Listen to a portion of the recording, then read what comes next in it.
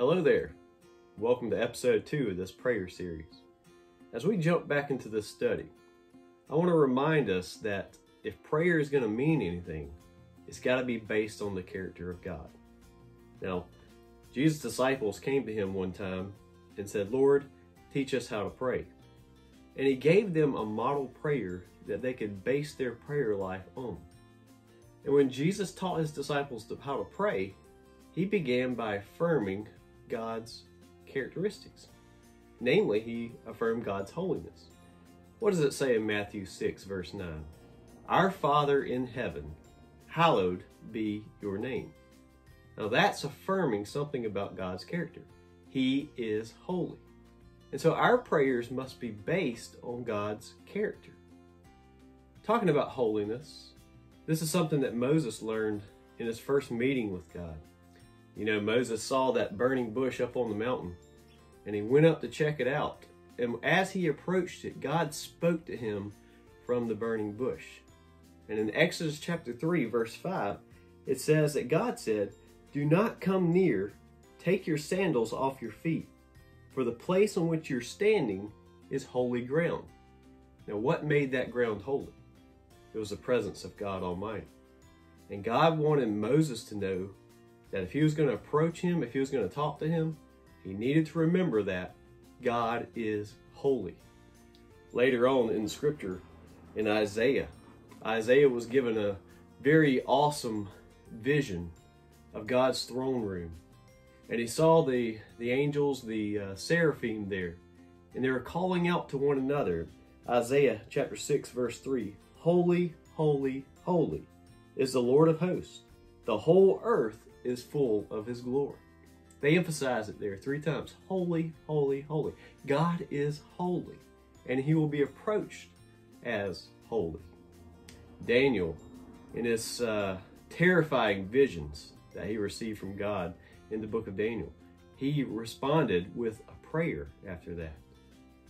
And he affirmed again, he acknowledged this in Daniel 9 7 To you, O Lord, belongs righteousness. Daniel realized he couldn't even uh, talk to God about the things he saw until he acknowledged that God is holy, God is righteous. When Peter realized just who Jesus was when they were out fishing, he fell at Jesus' feet and he cried out, Depart from me, for I am a sinful man, O Lord. So we must keep this in mind God's holiness, His righteousness.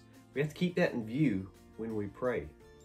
But you know, there's another almost seemingly opposite side of God's character that we also have to keep in mind when we pray, and that is God's mercy toward sinners. Now, James, in his little letter, reminds us in James 5:11 that God is compassionate and merciful. I want to just uh, read to you Psalm 103, verses 8 through 12. Listen to this. The Lord is merciful and gracious, slow to anger, and abounding in steadfast love. He will not always chide, nor will he keep his anger forever. He does not deal with us according to our sins, nor repay us according to our iniquities. For as high as the heavens are above the earth, so great is his steadfast love toward those who fear him.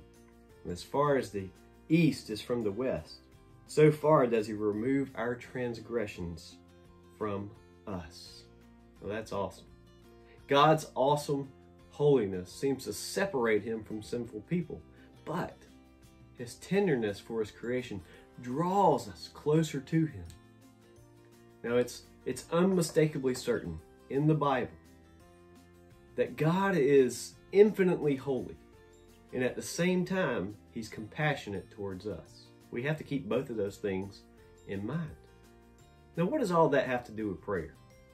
Prayer can have no meaning unless it takes into account God's total nature. He is holy.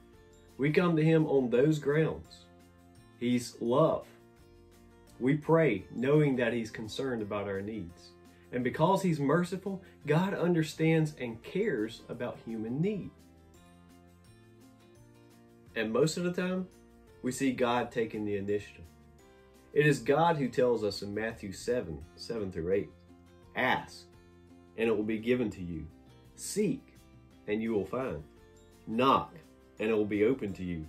For everyone who asks receives, and the one who seeks finds, and the one who knocks it will be open.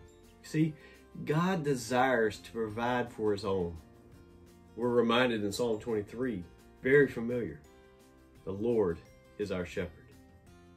Matthew 6, verse 30, it says there, But if God so clothes the grass of the field, which today is alive and tomorrow is thrown into the oven, will he not much more clothe you? See, God cares about you. God loves you, and he desires a relationship with you. He draws you to himself.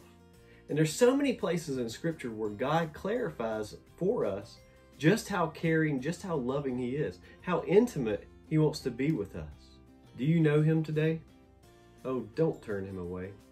He won't turn you away even though he knows you better than anybody else does. I invite you to go and meet with him today. He's waiting for you now.